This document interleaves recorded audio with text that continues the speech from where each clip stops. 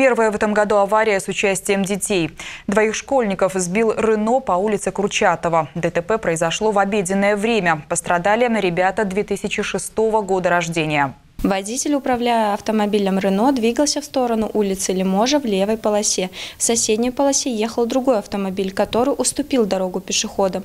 По какой причине этого не сделал водитель «Рено», пока неизвестно. В результате наезда дети получили травмы, однако их жизни и здоровью ничего не угрожает. По факту ДТП проводится проверка. Тем временем каникулы кончились, и ГАИ усиливает контроль над водителями и пешеходами возле школ. В утренние часы сотрудники ГАИ проследят, как водители соблюдают правила дорожного движения вблизи детских учреждений, пользуются ли родители автокреслами для перевозки детей, а маленькие пешеходы – световозвращающими элементами. Особое внимание уделять состоянию подъездных путей. По итогам 2019 года было зарегистрировано 41 ДТП с участием детей по Гродненской области. 46 детей пострадали, а двое погибли. ГАИ напоминает быть внимательными на дорогах и не пренебрегать правилами дорожного движения.